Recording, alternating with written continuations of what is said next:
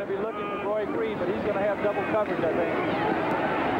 Lomax throwing, and it is Roy Green for a touchdown.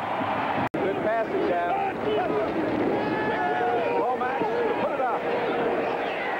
Touchdown, Roy Green.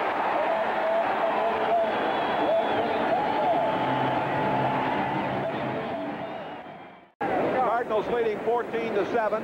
7:47 left in the first half. First and goal to go at the seven-yard line.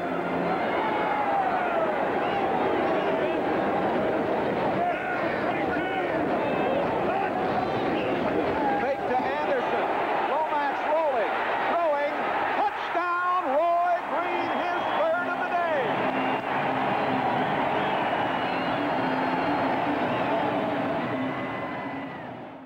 First and 10 at the 37-yard line. Play action,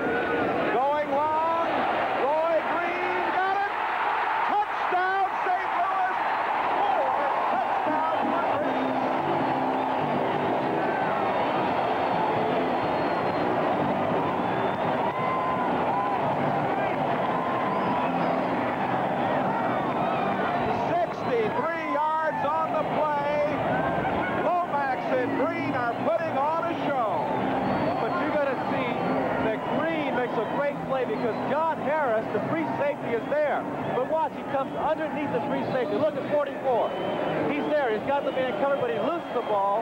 Roy Green comes back underneath for the touchdown. And that's why Neil Lomax had his hands on his helmet. He said, I don't believe it. He threw up a pass that should have been intercepted, but Roy Green turns it into a touchdown. Oh, O'Donoghue kicks the point. Four touchdowns for Green. Personal record for him as we look again. 63-yard bomb. Touchdown St. Louis.